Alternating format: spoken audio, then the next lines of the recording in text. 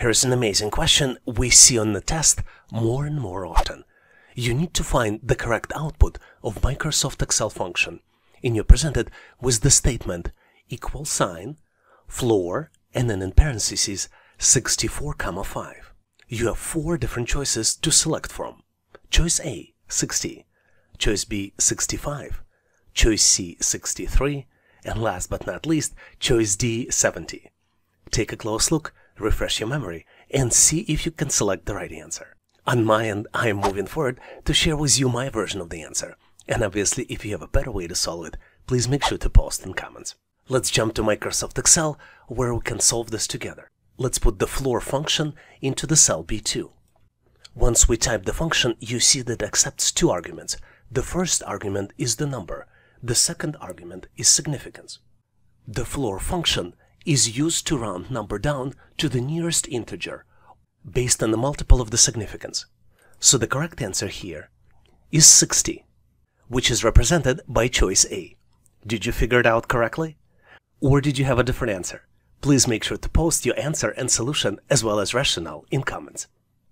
Here's a very interesting question to understand how well you know the formulas and functions working with textual strings in Excel. Camilla is a data analyst at manufacturing plant. She was assigned a task to extract the first name of the plant worker from their full names using Microsoft Excel. What is the correct formula she can use to perform this task? And there are four different choices. Choices A, B, C, and D, as well as the snippet of data, where column A contains full name of the workers and column B has the empty first name column. Do you know which one is the right formula to extract the first name? Take a close look, maybe pause this video to see if you can come up with the answer. And I'm moving forward so we can solve this challenge together. As you might have guessed, the correct choice is choice C. It uses left function and provides two arguments. First argument would be value of cell A2 and second argument would be find function which supplies space as well as argument A2 minus 1. Let's jump to Microsoft Excel to simulate this scenario. You see that in the question section, we need to extract full name, and John Smith has a space in between John and Smith. Let me go to the Answer tab to demonstrate. When I type the formula, you see the correct value in cell B2 is John. Let's understand how this formula works. Left function returns the specified number of characters from the beginning of the text. In this case, would be the first word and it will return them until we find the space in between John and Smith.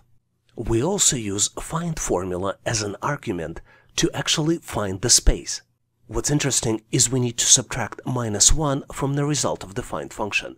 And this is necessary because the left function starts counting from the left side of the string and the find function starts counting from the right side.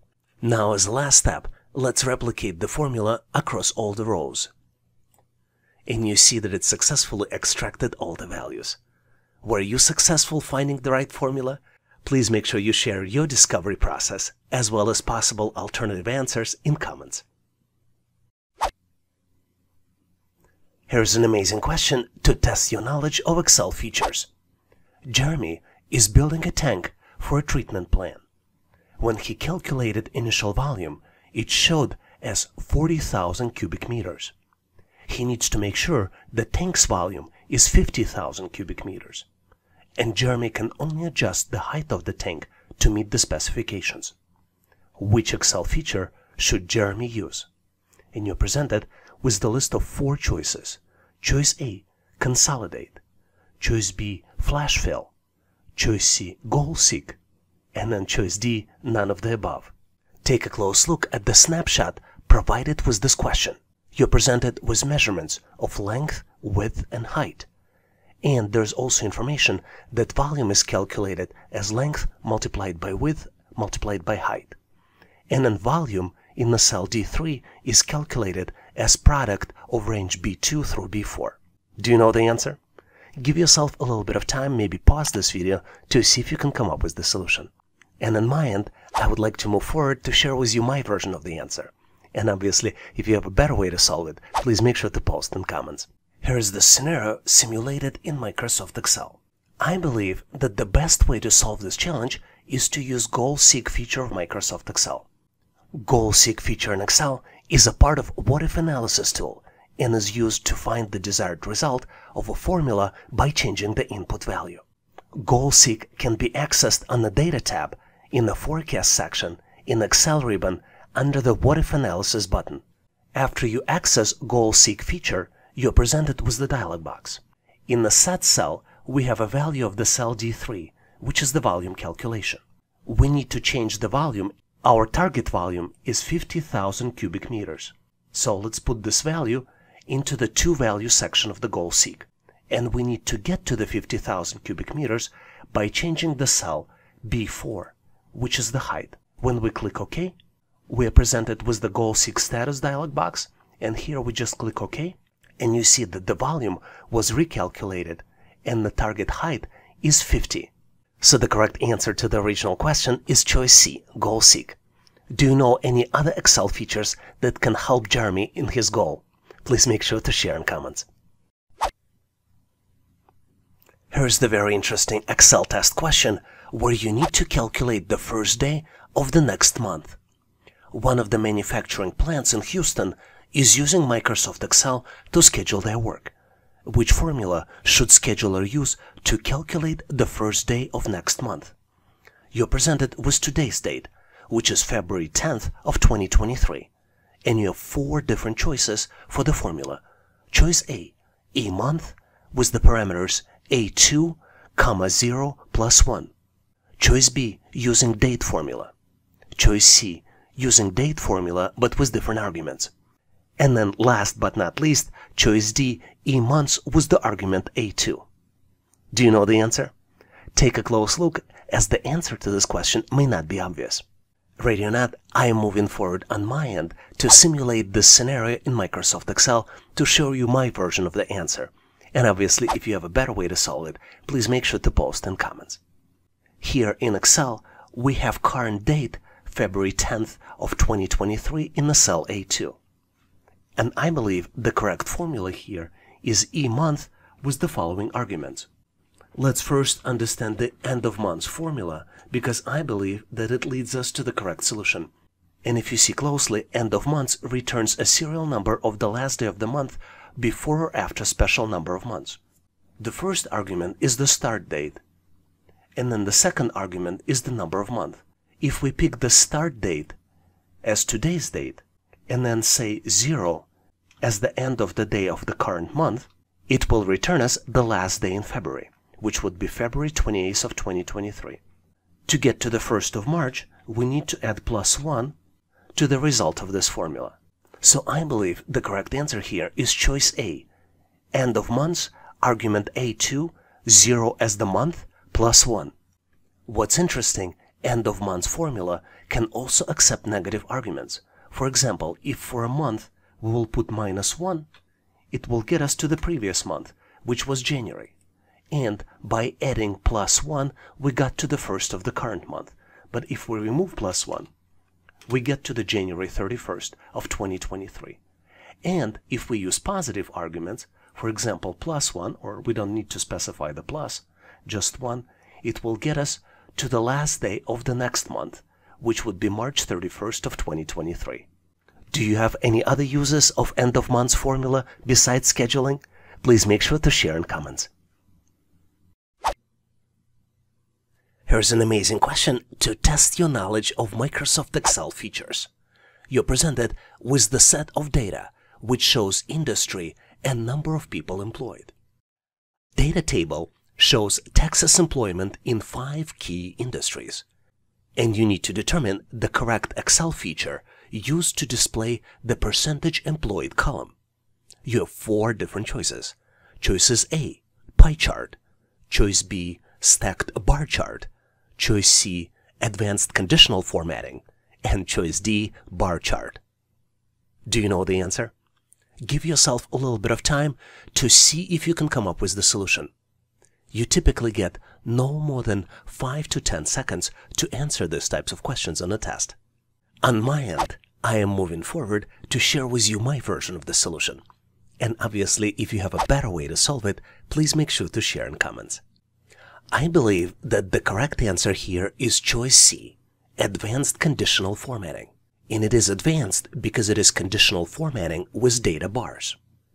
Conditional formatting with data bars is a feature in Microsoft Excel that allows users to quickly visualize the relative size of values in the range of cells.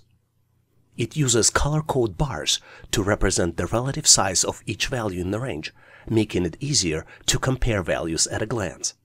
Data bars can be used to highlight the values that are above or below a certain threshold, or to compare values across different categories.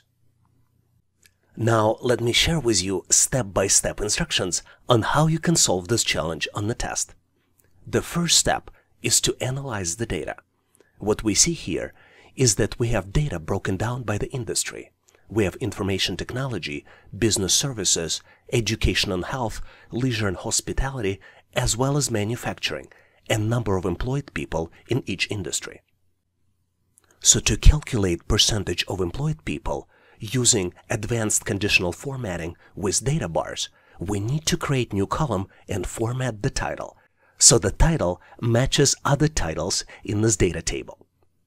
In the next step, we need to calculate the values to represent percentage of employed people. We need to calculate total using the sum formula in Excel. In the next step, we need to format the values as a percentage using percentage data type.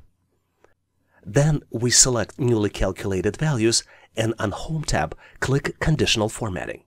We point to the data bars and then click to either solid field or gradient field. In our case, it is a solid fill. Do you have a better way to solve it? Please make sure to share your step-by-step -step instructions in comments.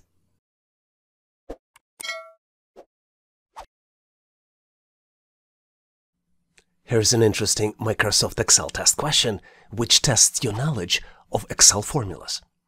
You need to show how to add current date and time in Microsoft Excel using formula, and then format it as long date. Do you know how to do it? Give yourself 5 to 10 seconds to see if you can come up with the formula. And I am going to move forward and show you the solution. In fact, the solution is very simple. All you need to do is type in the now function. Now function returns the date and time in the standard format. To format it as long date, you need to navigate to the Home ribbon tab and in the number format section, select the long date. Did you figure it out on your own?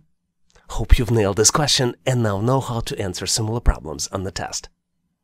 I would like to ask you to participate in our daily assessment test challenge. I post new question every day in the community tab of YouTube channel and give you an opportunity to answer it and try it. And I post answer in comments next day. So please make sure to check it out to test your knowledge. And now let's continue and get you ready for the test. A lot of times you might get a question on how to sort data in Excel from smallest to largest. For example, you might be presented with the dataset, which shows student names and their grades on different subjects. Here on the screen, we see the grades in physics, math, chemistry, and biology. And we need to sort this dataset based on the student names.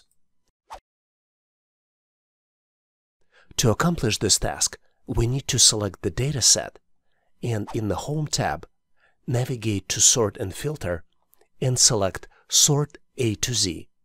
This will rearrange the data in the alphabetical order based on the student name.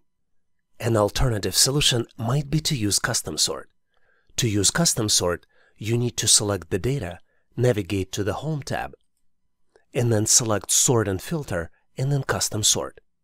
Here you're presented with the screen where you need to select the column by which you're going to be sorting, and then select the order. In my case, I am going to select the column as math grade, and then in the order, I am going to select smallest to largest. Once I clicked OK, you see that the dataset was rearranged from smallest to largest based on the values in the math column. Let's recap. To sort the data in Excel, you need to either use sort smallest to largest or custom sort functions. Hopefully you've nailed this question and now know how to answer similar problems on the test. Thanks for watching. If you like the content, please give us a like and consider subscribing. Thanks for all your endorsement, support, and patronage. For additional helpful information, please make sure to check out links in the description. For detailed list of available resources, I encourage you to check out resources page on our website, howtoanalyzedata.net slash resources. If you know someone who would benefit from this content, please consider sharing the link.